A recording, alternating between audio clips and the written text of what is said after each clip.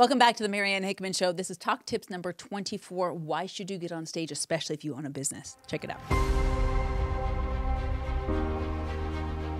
Hey, what's up? Marianne here. Now, listen, you own a business. You've owned a successful business for a while now. In fact, you've put in the blood, sweat, and tears that nobody knows about, and some that people do know about, and you've achieved a level of success in your business to wow, where now you're bringing in multiples of millions of dollars a year. Congratulations, first of all. That took so much work. Now, you're starting to feel this, first of all, sense of fulfillment. Go ahead and give yourself a pat on the back. You should.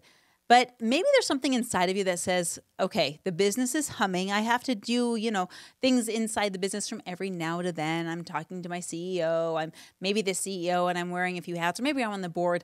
But there's something inside of you that says, okay, I did this. And I could probably help other people do the same thing. I'm beyond just managing my business and putting out fires all the time. Now I'm to the point where, like, okay, I've gone through the school of hard knocks. I've learned a thing or two. And maybe most importantly, people keep asking me how I did it. Now, if you're like me, you're paying attention. And if you're paying attention, you're realizing that you get asked the same question over and over and over again from different people from all of your circles, your social circles, your religious circles. Here's your indicator you need to be getting on stage. If you find yourself repeating, how did you do it? And you find yourself repeating the answer to that question, that is your punch in the gut that says, now it's time to develop your signature keynote presentation. Now, this is going to be seen on podcasts. You've probably already been asked to speak. You've already asked, been asked to speak at conferences. You've been asked to speak at workshops. You've been asked to speak at seminars. You've been asked to speak at awards and galas, whatever the platform is, your message is so valuable that now other people are asking you to share it. Now, the first question you got to ask yourself is what is the purpose? What am I going for? What am I doing this for? Why am I sharing my keynote? Because listen, if the keynote is just going to exist for keynote's sake and there's no way for people to benefit after you get off stage, then you're just going to be like every other informative speaker out there. You're not going to offer any real transformation. If you're if you really care about the people in the audience, you're going to want an element of your signature keynote that drives toward a call to action. Now, it could be, hey, here's the call to action. You should start using my company. Or maybe the call to action is join my community of other like minded individuals and we get together and we talk about business once a quarter at this get together over beer and pizza or whatever the case may be. Your signature keynote needs to have a call to action specifically that drives your audience to whatever the natural next step is. Now, for a lot of people, they're using public speaking as a career, and you might decide to shift into that.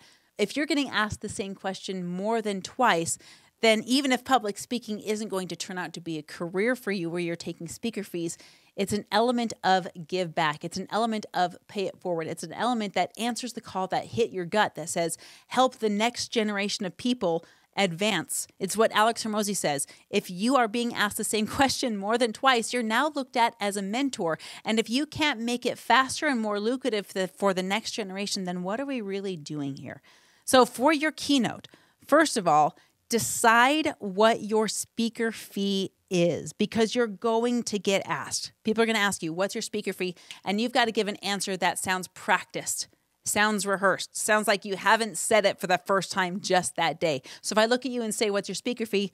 You should know. If someone asks me, What's my speaker fee? And I'm like, Uh, it's $5,000 then that erodes your credibility right away. So just decide, whatever it is. Do me a favor, don't charge anything less than $500. That should be a big no, no, no.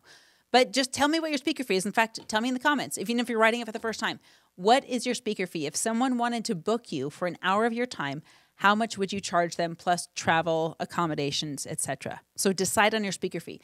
Next, decide on what your call to action is. Why are you getting up on stage and not answering for yourself, but for your audience? What are you going to do for the people once you get on stage that you want to drive them to? Is it becoming a part of a community? Is it joining a mastermind? And they, they, listen, you don't have to be an official coach to do any of these things, but your people are going to ask the question how do I get more of you? After I have spent this time with you, whether it's a follow on YouTube or Instagram, or whether it's joining an online community, have a place for people to gather. Your audience wants to learn more from you. Give them an opportunity to. And this begs the question what happens if I get asked to speak and they want me to speak for free? This, this is fine, by the way but you're going to want to have some kind of a call to action to send your audience to. Now, maybe that you do want to get paid to speak. Maybe you're like, yeah, my time is so valuable, I don't want to speak unless it has a direct monetary ROI. In addition to the altruistic doing good and teaching, once you decide your speaker fee, you've also got to decide how to monetize that call to action. Then you can be competitive. And here's why if you have a monetized call to action, you have you now have the ability, strength, and flexibility to waive that speaker fee, which corporations and businesses will like, and then be allowed to do that call to action because that call to action just might give you more monetary ROI than the speaker fee would. Bottom line is understand why you got yourself on that stage. It's not for you. It's not for your ego. You've already made the accomplishment. By the time you get on stage, you already have the credibility. The reason anybody should get on stage is to serve not just one person at a time, but dozens, hundreds, maybe even thousands of people all at once. And if you're not there to serve the people, then you probably shouldn't be on stage. On the other hand, if you're there to show up and serve, the audience will feel you, they will connect with you, and you know they're going to want more of you. Let me know what questions you have. Remember to like and subscribe. I want to hear your speaker fee in the comments, and we'll see you in the next episode. Marianne Hickman here again. Listen, I hope super helpful for you. Maybe you'll learn something new. Share with me in the comments what was valuable. Or if you have this whole separate question like, hey, I wanted to know about this. I wanted to know about stage fright. I want to know how about my presentation on stage. I want to know about how to dress on stage. Anything that you want to know that's relevant to growing your business through stages, put the questions. Because guess what?